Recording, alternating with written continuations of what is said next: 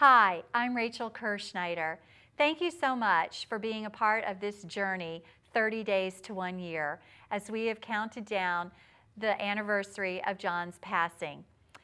Today, you'll be able to share in some special moments from the actual service at John's memorial and his celebration of life. If you're interested in seeing the complete video, please feel free to click the link. Thanks again for being a part of our lives in this special journey. I hope you'll join me as I count from 50 to 2.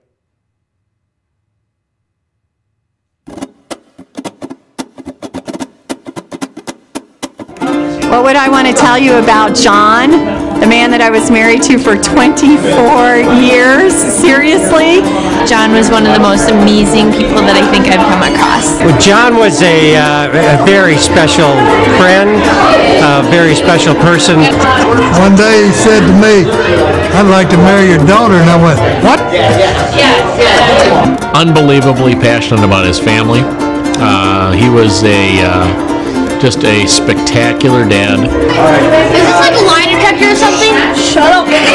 He was so gracious and he was so thoughtful of others. John was, uh, hmm, let me think about this for a minute. Uh, if the one of the boys had a game or an event, he he was there. He he did not miss that, and he adored his boys and adored Rachel, and he was just a a great guy. And John is one of those people that we instantly fell in love with. Love, love, love will keep us together, together. And John, I loved him. He was fabulous. He brought life to everybody, especially those boys and Rachel. So it brought a lot to me. He was a great kid. I mean, he really was. Total opposites, total opposites. That's they say opposites attract, and I think we did that very, very well.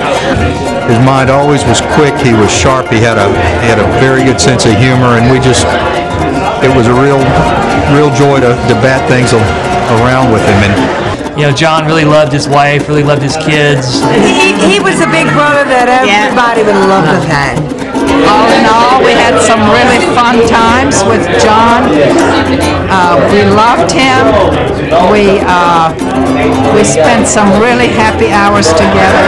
He was a fun, uh, caring person. In his senior picture, he has a beard, and I remember vividly, like, how does anybody have a beard when they're in high school? How old is this guy, really? But what I do know is that John finished well, just like he did with everything. He really did it well, and um, and we did it together. Cheers. Here's to John and the life he led. Keep practicing golf because you weren't really good. We love you. Yeah.